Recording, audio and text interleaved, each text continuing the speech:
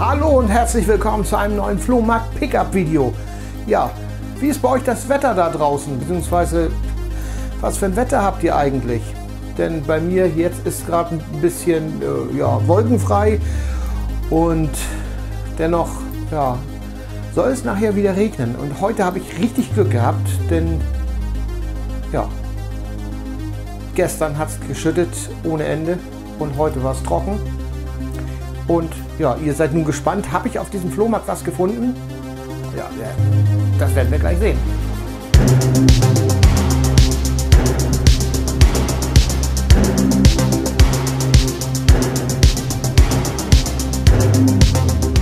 Momentan ist das Wetter wirklich unbeständig. Gestern war ein Dorfflohmarkt angekündigt, wo ich immer sehr gerne einmal im Jahr hinfahre und ja, auch wenn er weitläufig ja, weitläufig, ja, ist er schon. Sehr viele Häuser machen aber mit und man findet auch immer richtig schöne Sachen, aber es hat geregnet. Richtig schön geschüttet und ja, es war Samstag übrigens, an, äh, wo, wo, dieser Flohmarkt stattfinden sollte und kon, konnte ich knicken. Also im Endeffekt, er sollte um 10 losgehen und es hat ab 8 Uhr richtig durchgeschüttet ähm, und auch mit starkem Wind verbunden. Da brachte es nicht vorbeizuschauen. Also ich habe es versucht mit meinem Bruder, weil wir sowieso auf dem Weg vorbei waren, weil wir Freunde besucht haben in Kiel. Ich grüße euch an dieser Stelle. Aber ja, es hat sich nicht gelohnt, vorbeizufahren. Das, der, das, der baut auf, wenn es in Strömen gießt. Klar, es gibt ein paar hartgesottene, weil die auch unter Carports vielleicht stattfinden. Naja, was soll's. Wir haben ihn ausgelassen, so ist es eben. Ja, und jetzt war am Sonntag noch ein kleiner Straßenflohmarkt. Das war so eine kleine Minisiedlung, kann man sagen, mit jeweils, ja, das, das war ein kleiner Siedlungsbereich. Da waren, kann man sagen, etwa sechs Straßen, die da zusammenhängen. In der Nähe war ein Supermarkt, wo man parken konnte. Und die, die Straßen, ja, die waren so, die eine war knapp 400, 500 Meter lang und die anderen Straßen jeweils 200. Ja, und da war eine Menge aufgebaut. Und da bin ich heute Morgen durchgestöbert. Das Wetter hat am Anfang noch ganz leicht genieselt, als ich dahin gefahren bin. Das war wirklich nur 10 Minuten, Viertelstunde von mir entfernt. Aber als ich schon ankam, war es vorbei. Ich war rechtzeitig natürlich da, denn später war der Parkplatz rappe, rappe voll. Ähm, rief mich noch ein Freund an. Ja, bist du denn überhaupt schon im Flohmarkt gewesen? Ne? Ich habe hab ein Buch von DC gefunden mit schönen Covermotiven. Ich habe es gesehen, war nicht meins, deswegen habe ich es nicht mitgenommen. Freue ich mich für meinen Kumpel. Ich grüße dich auch in dieser Hinsicht. Du schaust ja auch diese Videos. Ja, aber ich bin halt sehr früh durchgewandert. Aber was heißt früh? Die haben 9 Uhr angefangen und ich war halb neun da. Ähm, viele haben gerade ihre Tische hingestellt, deswegen bin ich dreimal abgelaufen, den ganzen Flohmarkt. Das ging eigentlich, war überschaubar. War aber sehr interessant. Die Siedlung selbst, kann man sie einschätzen, das war gemischte Wohnsiedlung. Es waren junge Menschen, die da wohnten, so um die 30 bis 40, kann man so grob sagen, mit Kindern. Es war sehr viel Kinder- und Babyzeug da. Ähm, dadurch war schon eigentlich eine gemischte Palette, könnte man sagen, denn es war wirklich ganze Menge Trödel. Also es war wirklich sehr, sehr viel Trödel. Von Geschirr über Töpfe, über Gläser, ähm, irgendwelche Bilder. Also es war wirklich viel Trödel. Und da war auch bestimmt schöne Sachen dabei, nichts, was mich jetzt interessiert. Aber man konnte so stöbern. Und wie gesagt, ich bin als erstes durchgegangen und da war eine Frau, die hatte ähm, Schlümpfe gesammelt von Peo, die alten Schlümpfe. Die, halt die klassischen, wirklichen ähm, von Uni-Figuren und oder von Schleich war das, glaube ich, sogar nicht Uni Schleich. Waren ein paar schöne dabei. Ich habe einige, die ich in meiner Kindheit hatte, die habe ich bereits. Ich suchte nicht so viele. Ich wollte den Astronautenschlumpf haben. Ähm, den hätte ich mir noch mal gern gekauft. Der war jetzt nicht dabei, aber egal. Ich sah da zwei, drei Comics, die habe ich aber auch bereits schon. Aber was mir mehr gefallen hat, war dieses Sticker-Album. Ein wunderschönes Sticker-Album. Das, äh, äh, hier steht kein Datum drauf, aber inzwischen habe ich nachgeforscht. Dieses Sticker-Album kommt aus dem Jahr oder ist aus dem Jahre 1978 von Amerikaner München. Die Sticker, wenn die zu finden sind, auch wahnsinnig teuer inzwischen. Also ich habe, glaube ich, sechs Sticker und die sollten 12 Euro kosten bei eBay gefunden. Das Album ist auch nicht so häufig zu sehen und es werden auch recht teuer. Es sind viele Sticker, die sind so wie hier. Ihr könnt das sehen. Und ich, ich werde auch das mal, ja, wahrscheinlich noch mal ein bisschen durchblättern, aber ähm, auch für, für so ein kleines Video zwischendurch. Ähm, ja, auf jeden Fall ist das richtig schön. Am Anfang gibt es auch ein paar größere Bilder, hier so einseitige. Ansonsten ergänzt man die Motive. Richtig interessant gemacht. Ähm, ich kannte das, ich weiß nicht, ob ich es nicht kenne. Es kommt mir bekannt vor, aber irgendwie auch nicht. Also in dem Sinne, ja, hat mich das begeistert und ich habe dafür einen Euro bezahlt. Und das habe ich ganz gerne gemacht, da habe ich auch nicht gehandelt. Das fand ich fair und es geht für das Zehnfache bei eBay weg. Auch unvollständig. Naja, auf jeden Fall, mir hat es sehr gut gefallen. Und ja, ähm, genau. Und wie gesagt, es, es, war schon sehr amüsant, so, so ein klassisches Teil zu finden. Weil die Dame war auch älter und ja, ähm, halt eine ältere Sammlerin, wie, wie, ich ja auch, obwohl die war noch älter als ich. Ähm, wie dem auch sei, ich bin da weiter durchgestöbert und ich zeige euch das jetzt ein bisschen sortiert, weil, ähm, ja, wie soll man sagen, ich habe ja auch geguckt und mal waren die aufgebaut, war nicht, ich bin hin und her gelaufen. Dann habe ich bei einem Stand, wo ich noch eine Blu-ray gefunden habe und ein Buch geschenkt bekommen habe, das zeige ich euch aber etwas später, habe ich noch einen Becher entdeckt, einen Popcorn-Becher aus dem Kino, aus Metall. Und zwar Indiana Jones. Und zwar von Dial of Destiny. Das ist richtig herausgearbeitet. Mir hat es sehr gut gefallen. Den gab es für 50 Cent. Und ich als Indiana Jones Fan sagte ich mir, das musste ich haben. Ist ein bisschen gebogen, aber gut, das ist halt normal.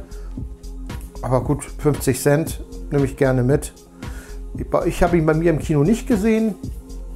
Aber ja. Ich fand ihn cool. Oder was sagt ihr? Äh, ich weiß zwar noch nicht, was ich da mache, weil im Endeffekt ist es wie so ein Blumentopf. Ne, ihr seht ja Metall. Ähm, ich weiß noch nicht, was ich da, wie, wie man das benutzen soll. Und ich glaube, das ist auch das Problem, wenn man diese großen Becher hat. Die sind zwar cool, aber was soll man damit machen? Ich meine, man kann da irgendwelche Sachen drin sammeln und das als Sammelbecher benutzen, aber so, ja, das ist einfach nur cool. Indiana Jones, ich mag ja sowieso Indiana Jones und ja, auch schon richtig interessant. Ja, so, was habe ich denn noch gefunden? Ähm, wie gesagt, 50 Cent. Also ich, ich sage euch, alles, was ich hier gefunden habe, ich habe gerade mal 12 Euro komplett ausgegeben. Das war eine Flohmarkt, wo ich nicht gedacht habe, dass ich so wenig ausgebe. Ähm, weil im Endeffekt habe ich schon für mehr ausgegeben und im Endeffekt die Hälfte machen die zwei Computerspiele, die ich gefunden habe. Nee, also ich habe drei mitgenommen. Ich spoiler das so ein bisschen. Aber im Endeffekt haben die schon das, die Hälfte des Geldes ausgemacht. So, dann habe ich in einer Grabbelkiste dieses, diese Bügelsticker gefunden. Ähm, von 2001 von Digimon. Sieht man auch nicht äh, äh, so oft. Und ich nehme ja so Manga-Kram, wenn der ja, etwas älter ist und irgendwie cool aussieht, gerne mit. Ja, und der hat mich genau äh, 10 Cent gekostet. Ich fragte, was ich haben will. Ja, gib mir äh, ich will 10 Cent und äh, ich musste mir ein 50-Cent-Stück wechseln. Ich habe nicht mal 10 Cent dabei gehabt. Ja, richtig cool. Ähm, in dem Sinne kann passt auch das Ponte, pa, pardon, äh, pardon, na egal. Ähm, das, das, Gegenteil davon ist ja Pokémon. Und von Pokémon habe ich auch was gefunden, und zwar einen Pin. Ähm, und zwar diesen Pin. Ja, ich blende ihn jetzt mal etwas größer ein. Ich kenne das Monster auch nicht. Ähm, ich habe dafür, ich habe da ja 1 Euro habe ich gegeben dafür. Ähm, und das stammt aus einer Sonderedition mit einem Kartenset. Ja, gab's, war lose da, waren auch keine Pokémon-Karten. Und dann denke ich mir, sowas nehme ich mit. Das ist ja ein schönes Sammelstück. Und ich mag ja sowieso Pins, wenn ihr meine anderen Flohmarkt-Videos ja verfolgt habt. Also warum soll ich nicht mitnehmen? Ja, die gleiche junge Dame hatte da noch drei ähm, Buttons. Die werde ich euch auch gleich groß einblenden. Und zwar von Genshin Impact. Das ist ein Manga und Anime und Computerspiel. Und das soll dabei gewesen sein, als sie das Computerspiel gekauft hat. Ja, gut. Kann ich nicht dazu sagen. Ich habe hier Charaktere, die ich nicht kenne. Sehr schön gemachte Artworks, muss man ja aber auch dazu sagen. So, ich zeige euch jetzt mal einzeln. Und jetzt seht ihr das nochmal alles zusammen. Weil wie gesagt, ein richtig schönes Bild. Oder richtig schöne Motive besser gesagt. Und die gab es für 50 Cent. Dachte erst, die gehören zum Spiel, weil ich hier nur ein äh, Lia gelesen habe, so ein abgegrenztes äh, Wort. Dachte ich von Tales of Celia, von der Tales of Reihe. Die Charaktere sehen ja ein bisschen ähnlich, sahen mir ein bisschen ähnlich aus. Aber nein. Ähm, Genshin Impact. Ja, 50 Cent. War es etwas, wo ich gesagt habe, komm, das nehme ich mit. Und ja, fand ich auch gar nicht so schlecht. Dann habe ich eine Kiste mit Hörspielkassetten gefunden. Da fehlten, waren schon ein paar Lücken. Vielleicht hat schon jemand welche weggenommen. Auf jeden Fall habe ich hier drei alte gefunden. Und für die drei zusammen habe ich einen Euro bezahlt. War ich ganz erstaunt. Ich fragte, was möchten Sie haben? Ein Euro. Dann ich so, alle drei. Ja klar, alle drei. Okay. Ich habe mitgenommen von Astrid Lindgren ist die Geschichte. Rasmus der Landstreicher. Von, äh, aus dem, von Karussell. Das ist äh, hier interessanterweise sogar von Polygram eine Kassettenhülle. Hier ist noch so ein Logo. Sieht man auch nicht alle Tage. Rasmus der Landstreicher, das ist, mal sehen, haben wir ein Datum hier. Von 1974. Kennen wir Sprecher hier? Ja, Rasmus, das ist ganz interessant, also der Junge, die Hauptfigur, wird gesprochen von Santiago Ziesmer. Santiago Ziesmer ist SpongeBob. Ja, richtig interessant. Äh, aber dann hält sich das auch in Grenzen. Heinz Rabe, den Sprecher habe ich schon mal gehört. Äh, Klaus Jepsen habe ich auch schon gehört, ist auch ein bekannter Sprecher. Aber Santiago Ziesma, ein früher SpongeBob. Ja, auch richtig cool. Also wie gesagt, die fand sich mit zwei anderen zusammen für einen Euro. Dann habe ich mitgenommen, ist zwar Teil 2, die Kinder des Captain Grant von Europa das Hörspiel zu der Jules Verne Buchverfilmung. Äh, Quatsch, zum, zum Jules Verne Buch. Ähm, ist das Hörspiel in zwei Teilen. Hier kann man sehen, ist noch richtig oldschool, die Kassette. Leider nicht Teil 1, hätte ich gerne gehabt, damit man es hören kann. Das muss ich mir mal irgendwo besorgen. Aber nicht schlecht, wenn ich hier sehe, wer hier alles dabei ist. Karl-Walter Dies ist auch eine bekannte Stimme. Christian Rode, auch einer, der sehr viel später Sherlock Holmes gesprochen hat, bis er verstorben ist leider. Ähm, Hans Meinhardt, die Stimme von Onkel Titus, die klassische, die bekannte. Ja, Heike Dine Körting hat Regie geführt. Richtig cool. Ja, ob es noch funktioniert, weiß ich natürlich nicht, aber schöner Klassiker. Sieht man auch nicht alle Tage. Und genauso wie diese Serie, hier ist noch leider so ein Karstadt-Sticker-Rest drauf. Das habe ich jetzt nicht, nicht abgemacht, aber das klebt auch so stark, dass ich glaube, nicht mehr abzukriegen. Und zwar von Nummer 1 von Innet Bleiten, die verwegenen vier reißen aus. Innet Bleiten hat ja neben den fünf Freunden mehrere so eine Kinderabenteuer geschrieben und dieses hier auch, ich gucke gerade, ob hier ein Datum steht, leider nicht. Das ist das Problem. Es ist auf jeden Fall 80er Jahre und äh, früher hat man nur ein Copyright geschrieben, aber nie das Datum. Hier ist Christian Rode, äh, der, ähm, der, ja, der Sprecher, der Erzähler kann man sagen, denke ich mal. Und interessant, Fabian Harloff spricht die Hauptrolle, den Chris. Ähm, die anderen, Svenja und Annika Page oder Page, Pages, kenne ich auch vom Namen her. Hans Meinhardt wieder, Onkel Titus, ja, eben halt und Heike Dine Körting. Und H.G. Francis, Francis, das Dialogbuch. Richtig cool.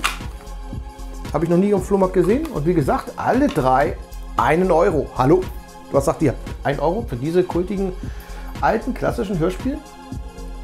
Ja, wo wir bei Hörspiel sind, hier habe ich die eins, was auch als Hörspiel umgesetzt wurde und es muss mal wieder sein, ein drei Fragezeichen Buch, ich bin mir nicht sicher, ob ich es habe oder nicht. Der namenlose Gegner. Ja, hier gibt es Unruhe in der Nachbarschaft ähm, im Vorort Seven Pines und die Nachbarn ärgern sich. Bob und äh, die, äh, Peter und Justus, die drei Fragezeichen, sollen so ein bisschen ähm, ja, herausfinden, warum da Unruhe sind und dann wird Bob leider niedergeschlagen und mal wieder, also er wird mal wieder niedergeschlagen, hat dann wahrscheinlich einen Hashimitenfürst im Kopf und verliert ein bisschen das Gedächtnis. Und ein Erzfeind der drei Fragezeichen nutzt das aus und macht Bob zu seinem besten Unruhestifterkumpel. Ja, spannende Geschichte, richtig gut. Muss ich jetzt mal als Roman lesen? Ich habe ihn nämlich nur als Hörspiel bisher gelesen. Äh, gehört, noch nicht gelesen. Aber ich, da ich sowieso gerade kein Buch habe, muss ich sagen, passt es ganz gut, dass ich das wohl als nächstes mir einfach mal schnappe zum Lesen. auch zum Lesen. Ein Roman, mein Bruder hat eigentlich alle komplett, aber es gab es für einen Euro. Achso, ich habe einen Euro für das Buch auch bezahlt, was ich noch nicht gesagt habe. Eine Fantasy-Serie mit Mechs und die Bücher sieht man nicht mehr alle Tage und ich dachte, ach, nimm mal mit. Ist auch gutes Tauschstuff. Battletech von Adat Meha. Das Schwert und der Dolch. Richtig coole Cover. Auch eine gut gemachte Science-Fiction-Serie ist ja nach dem ähm, Brettspiel von ähm, Battletech richtig cool und fand ich so cool, dass ich es haben musste oder mitzunehmen. Sieht man nicht so oft. Es gibt da ganz viele Bücher, es gibt 30, 40 Bücher und ja, warum nicht? So, dann habe ich ähm, auch bei Filmen und DVDs immer wieder geguckt, aber das gab sehr wenig. Es muss, ich muss dazu sagen, es waren sehr, sehr wenig DVDs und Filme äh, und Blu-rays zu sehen. Und wenn, dann waren es meistens alte Disney-Filme bzw. Zeichentrickfilme von, von Heidi, Paw Patrol und so weiter. Da war schon einiges dabei, also wirklich Kleinkinderzeug, das war nicht meins. Aber auf dem einen Tisch lag eine Blu-ray und zwar Dragon Ball Z, Kampf der Götter. Glaube, dass ich nur die Disc selbst besitze, kein Cover. Oder eine DVD nur, das weiß ich gar nicht. Da muss ich selbst noch nachgucken, habe ich noch nicht gemacht. Ja, habe ich gesehen, ist auch im sehr schönen Zustand und ich frage nur, was möchte die Dame haben? Übrigens, da habe ich den Indiana Jones Becher für 50 Cent gekauft. Ja, und was sagt sie mir? 50 Cent. Und dafür nehme ich das auf jeden Fall mit, selbst zum Tauschen. Ähm, wie gesagt, ich habe, glaube ich, keine Hülle gehabt und so habe ich den Film jetzt in meiner Sammlung komplett und vollständig. Ähm, ich habe ihn mal, weil ich darüber geschrieben habe, nur die CD bekommen. Ähm, auf Short Review habe ich darüber geschrieben und deswegen habe ich kein Cover gehabt. Und jetzt habe ich es komplett und ja, und selbst wenn, hätte ich sowieso mitgenommen zum Tauschen und 50 Cent, das kann ich nicht Nein sagen. Die Dame hat mir gleich hat mir noch ein Buch geschenkt. Also, das werde ich euch auch noch gleich zeigen. Aber das ist kleine, aber feine Ausbeute. Ja, so, jetzt kommen wir schon zum Bereich so ein bisschen in den, ins Computerspielsektor, denn das Buch hier, wer singt, gehört auch zum Computerspielbereich. Aber erstmal ein Manga und gleichzeitig zum Computerspiel und zwar The Legend of Zelda, The Twilight Princess, Band 9, gab es für 1 Euro. Ja, 1 Euro. Da habe ich für gerne mitgenommen. Cool. Man hat ja so viel schönen Stuff, den man gefunden hat. Ich muss das hier, glaube ich, mal ein bisschen anders hinbauen, damit ich alles hier auf einen Tisch kriege. Hat man selten. Wir haben in letzter Zeit so viel auf dem Flohmarkt gefunden, dass es, nicht dass es den Tisch sprengt und jetzt nicht. Cool. Ja, so, das Buch habe ich geschenkt gekriegt. Richtiger Wälzer. Also hier ist, sind sogar US-Dollar, hat mal 35 US-Dollar gekostet. Ist Englisch und ich versuche es, es ist richtig schön aufgemacht, wie so ein alter, altes Buch. Hat auch viele alte Zeichnungen. Hier steht Rise of the Nephilim, denn es ist ein Buch, es ist Book of Cain von Diablo 3, also ein Computerspiel. Richtig cool. Ähm, ja, geschenkt. Da sage ich doch nicht nein. Also gerade Computerspiel, ich fragte, äh, beziehungsweise ich fragte gar nicht. Ich habe mich mit ihr unterhalten. Ich, äh, es war so in der Mitte des Flohmarkts, kann man fast sagen. Und dann kam ich da auf den Becher, ich sag so echt cool und auch den, den, den Anime. Und dann kam ich und Mensch, das ist interessant, dass man kaum Computerspiele. Da sagte ich, ich habe da was. Und dann kam das zutage. Aber die Spiele wollte der Mann behalten. Also in dem Sinne, ja, Spiele gab es kaum. So. Ähm, kommen wir weiter zu den Spielen. Bei dem, wo ich das Battletech-Buch gefunden habe, da gab es so ein paar PC-Spiele drin. Es war jetzt ältere Spiele und Commandos 2. Ähm, mein Bruder meinte, ich hätte äh, ähm, so, so, ein DVD-Case, war noch Heroes of Might and Magic 4, habe ich jetzt nicht mitgenommen. Der wollte aber auch wirklich nicht viel haben, äh, wahrscheinlich. Froh, dass er das weggegeben hat. Naja, jedenfalls sagte er zu mir, als ich da reingeguckt habe, ach, such dir eins aus, ich schenke dir eins. Ja gut, dann habe ich mir ausgesucht, Command Conquer Alarmstufe Rot 2 fand das etwas seltener und das empfand ich so, sagen wir mal so, ist ein Spiel, was ich selbst gespielt habe, auch mal damals auf dem PC. Ähm, ja, Echtzeitstrategie, kultig einfach. Ja, gab es für geschenkt. Cool. Aber wie gesagt, dieser Flohmarkt war echt klasse. Ähm, wenig ausgegeben und echt coole Sachen gefunden. Ich bin richtig schön happy. Gerade so ein altes Schlümpfe-Teil, was mich persönlich immer freut, dieses Retro-Stuff ähm, zu finden aber auch von allem etwas irgendwo. Auch wenn ich den Becher noch nicht weiß, wie ich ihn überhaupt aufbaue, wo ich ihn hinstelle. Er ist so cool, aber auch so unhandlich. Ähm, ja, also zwei Computerspiele gab es. Einmal hier für den DS. Das Spiel gibt es übrigens auch für die Wii, habe ich festgestellt. Aber ich habe es auch noch nie gesehen. Ist von dem äh, Rising Star Games, von dem Studio gemacht worden und von den Entwicklern von Sonic. Ja, das soll doch viel versprechen. Seltsamer Artstyle. Und zwar Ivy the Kiwi. Ja, ist so Jump and Run ich habe das da erst liegen sehen und dann dachte ich, hm, ach komm, ein Kinderspiel, weil das waren jetzt sehr viele Kleinkinder. Ich habe später noch einen kleinen Stapel ähm, DS-Spiele gesehen, da waren aber wirklich so Mahjong und so diese typischen Spiele, die sehr uninteressant fand, obwohl ich muss sagen, ich habe da nicht wirklich viel stark durchgeguckt, aber da war nicht wirklich was, was jetzt mir aufgefallen ist. Da habe ich das ein Spiel noch mitgenommen von, dem, von deren Verkauf, aber das hier habe ich jetzt da einzeln gesehen. Es war das einzige Spiel, Erst habe ich gedacht, ach komm, lass liegen. Und dachte ich, hm, von den Machern von Sonic, kann man ja mal angucken. Kannst einfach mal unverbindlich fragen, was möchte die Dame haben? Und die sagte, ja, ich möchte 3 Euro haben. Okay, ich sag so, einfach mal fragen. Ja, auch zwei? Ja klar, gib mir zwei. 2 Euro für Ivy the Kiwi. Ja, habe ich mitgenommen. Ich habe es noch nicht gespielt, aber sah interessant aus. Also in dem Sinne, warum nicht? Und ich habe festgestellt, es ist gar nicht so ein häufiges Titel. Naja.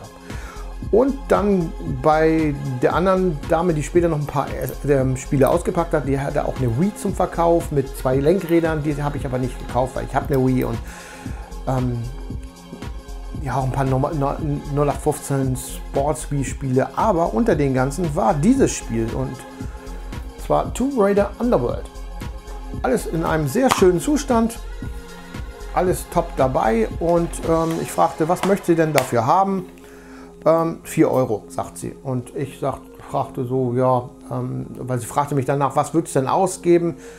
Ähm, ich sagte eben halt so, maximum, so um die 2 Euro gebe ich mal gerne aus, sagte ich so. Und ich, dann sagte sie, sie wollte, will 4 haben, kann es mir aber auch 3 geben. Ja, so war's. Und dann habe ich 3 Euro für Tomb Raider Underworld gegeben. Ja, cool. Und das war's. Das war diese ungewöhnliche kleine Flohmarktausbeute vom Straßenflohmarkt heute. Ja, momentan bezieht sich das wieder. Ich kann nicht sagen, ob es jetzt noch anfängt zu regnen. Es sollte mir jetzt egal sein, denn ich war ja auf dem Flohmarkt und mehr habe ich jetzt heute nicht in der Nähe. Ähm, nächste Woche bin ich mal gespannt. Da ist ein normaler Flohmarktausstatter, der auch immer richtig gut ist. Und dann habe ich heute in der Zeitung gelesen, es auch einen Straßenflohmarkt bei mir wieder gibt, in einer Siedlung, wo viel, die sehr alt ist, also eine sehr langlebige Siedlung, keine Neusiedl Neubausiedlung oder so. Da bin ich mal gespannt. Ich soll, muss mir noch mal die Karte angucken, wo mitgemacht wird. Das weiß ich nämlich noch nicht. Dann kann man so ein bisschen abschätzen, wie es ist. Und da bin ich mal echt gespannt drauf. Und ja, ansonsten, das soll es jetzt gewesen sein. Für mich, mein Highlight ist einerseits der Indiana Jones Becher, auch wenn der Film Dial of Destiny nicht ganz meiner war, aber der hat, ist von den Artmotiven, gefällt er mir sehr gut. Aber auch das Schlümpfe von 1978, dieses eigentliche Album. Wer übrigens einen Sticker dazu hat und die abgeben möchte, so, weil das ist, wie gesagt, ich würde es auch vollständig kleben noch, der kann sich gerne bei mir melden. Aber ansonsten, das war's jetzt. Ne? Liken, teilen, abonnieren. Darüber freue ich mich immer sehr. Und kommentieren. Sagt mir doch, was ist denn euer Highlight? Wie gesagt, ich bleibe beim Schlümpfe und bei dem Indiana Jones Becher, den ich einfach cool finde. Und ja, jetzt seid wie gesagt ihr dran. Lasst es mich wissen und das war's. Ich wünsche euch einen schönen Sonntag weiterhin und ja, schaltet beim nächsten Mal wieder ein. Bis dahin, euer Sascha.